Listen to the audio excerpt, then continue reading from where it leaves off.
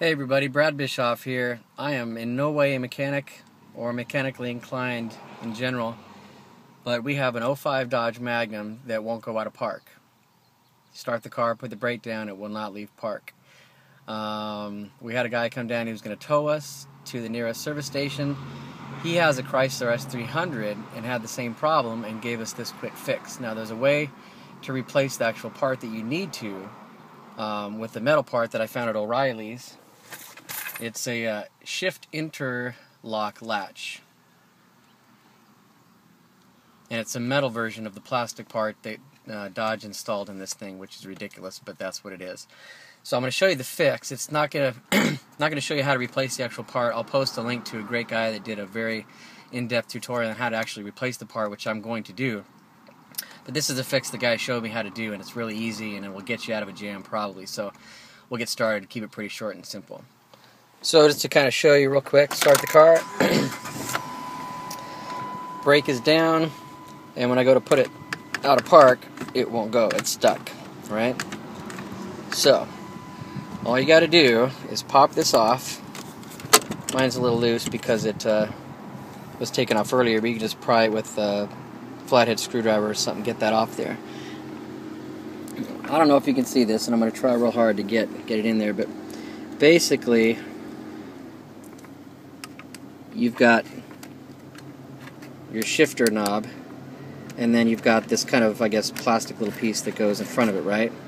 Well if I put my I've just got a regular pencil here just a plastic you know pencil and what there is is there's the cable that's attached to the part that's malfunctioned that I'm going to replace. There's a cable that runs this way and it kind of runs off uh, you know a little bit off from this this tab here so it kind of runs this way. And all you got to do is shove a pencil right up against that edge, stick it down in there, pretty much to the bottom. Um, this can be hard to do and, and uh, video at the same time.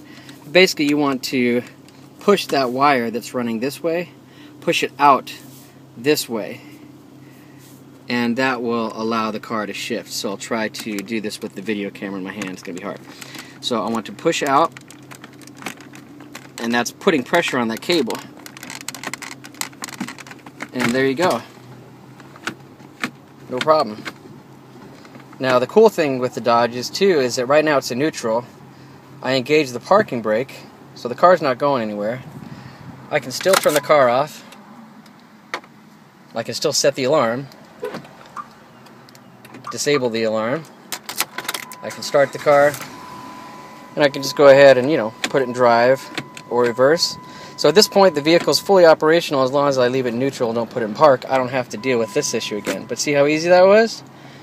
So now, give you a little better view here, this is where the pencil went in, right up against that, that plastic clip. And then I just push that cable out of the way. Just give it some pressure this way. That'll release the cable and allow you to take the car to park. Alright? So there you go. Okay, so the new metal assembly is in place now. That spring is attached. Crazy thing is, this is the, the factory spring, or factory mechanism. That little bad boy right there, if you can even believe that, is what they say will work. Hold on, pardon me. So that came off of there. Hope that was helpful. I'm Brad Bischoff. If you like this video, subscribe, comment, and uh, appreciate it. Hope this helps you out. Sure helped us out and saved us a lot of money. Okay, take care.